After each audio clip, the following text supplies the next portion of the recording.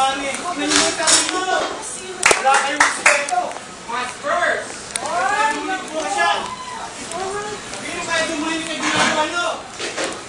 Wala kayong respeto. Akala mo natatakot ako? Sino, sino Chris? Nagdadala ng yelo. Pinababayaan mo lang.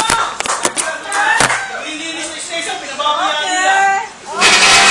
Alam ko, may sikara pinapatuloy nyo. Oo, sinabi ko nga yan. Okay. Lahat ng Pilipino nakakasabay ko sa train. Yan, yan ang ano nyo. Ah. Tatawa-tawa kayo, ano pala siya? Gago! Hindi ako punta rito, hindi ganyan. Wala akong respeto. No respect, ha? No. No manners, no respect.